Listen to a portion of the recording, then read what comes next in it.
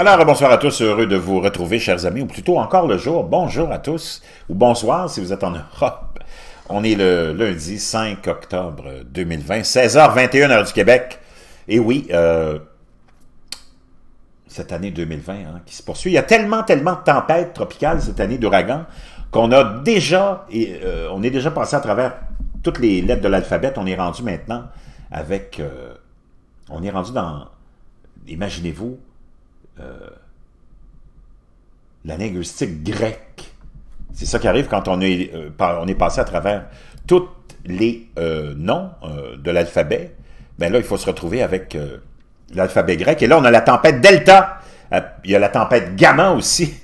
Hein, je vous avais dit que c'était... Je vous avais rapporté les prévisions de cette année, que c'était pour être une année vraiment record. Ben ça y est. La tempête Delta, la tempête tropicale qui pourrait devenir un ouragan ce soir dans les Caraïbes, un danger pour toute la côte américaine du Golfe à la fin de cette semaine. la tempête Delta tropicale s'intensifie dans l'ouest de la mer des Caraïbes. Delta devrait bientôt devenir un ouragan. La Jamaïque, les îles Caïmans et l'ouest de Cuba seront les premières régions touchées par ce système. Delta frappera probablement la côte nord du golfe du Mexique à la fin de cette semaine.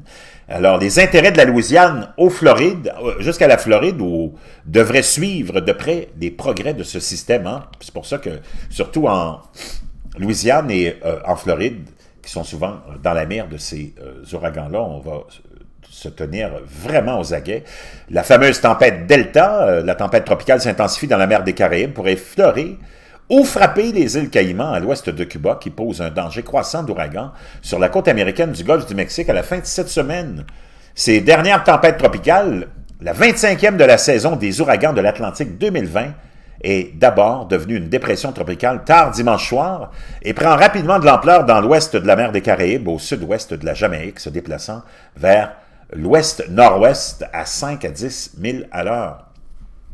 Euh, la tempête Delta se trouve dans un environnement où la chaleur océanique est la plus élevée du bassin atlantique tropical et le cisaillement du vent est faible. Compte tenu de cela, Delta est susceptible de devenir bientôt un ouragan et pourrait s'intensifier rapidement avant de se rapprocher de l'ouest de Cuba. Le centre de la tempête Delta devrait continuer à suivre généralement vers le nord-ouest jusqu'à mercredi soir, après quoi les prévisions suggèrent que la tempête Delta finira par tourner vers le nord en direction de la côte américaine, du golfe du Mexique, à la fin de la semaine.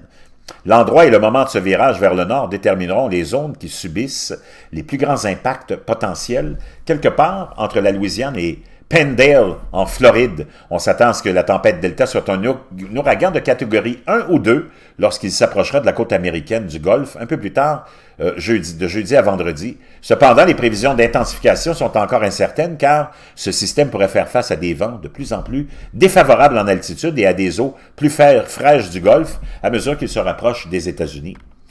Malgré tout affaiblissement près de la côte du Golfe, la tempête Delta pourrait encore être un ouragan redoutablement fort à terre à la fin de cette semaine.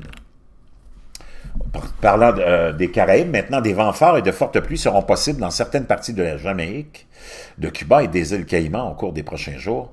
Cela pourrait entraîner des inondations soudaines et des glissements de terrain dangereux sur des terrains vallonnés ou montagneux.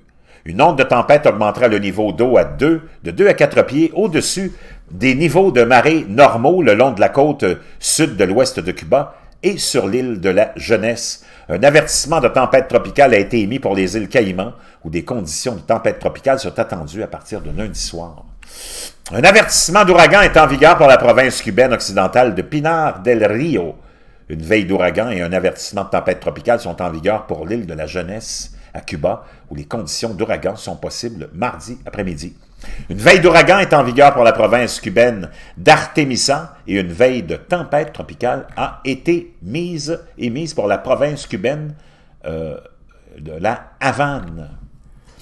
Du côté américain et du Golfe, euh, du Mexique, il est trop tôt pour déterminer les impacts prévisionnels spécifiques de la tempête Delta sur la côte américaine du Golfe. Comme mentionné précédemment, Delta pourrait être un ouragan de catégorie 1 ou 2 lorsqu'il s'approchera de la côte nord du Golfe en fin de semaine.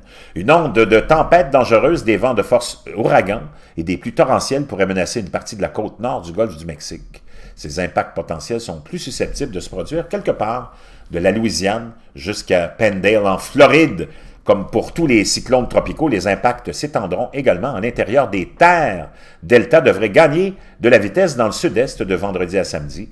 Ce mouvement plus rapide pourrait propager des vents forts, potentiellement dommageables, plus loin à l'intérieur des terres, ce que nous avons vu avec l'ouragan Sally le mois dernier, qui était vraiment euh, quelque chose de, majeur. Hein. Cela pourrait également réduire le potentiel de précipitation extrême du delta, bien que des pluies euh, inondables locales soient toujours attendues, en particulier le long et à l'est de son trajet, et en particulier sur les zones tempérées, euh, plutôt trempées par les pluies prolifiques de Sally le mois dernier. Donc, vraiment, pardon, pardon, les petites allergies, ah, ça commence. C'est quelque chose qu'on va surveiller. Hein. Encore une fois, on est rendu, euh, imaginez-vous, dans l'alphabet grec, la tempête delta, il y a la tempête gamma aussi, euh, qui s'en va sur les côtes du Yucatan, qui a frappé les côtes du Yucatan. Je vais vous en parler dans quelques instants.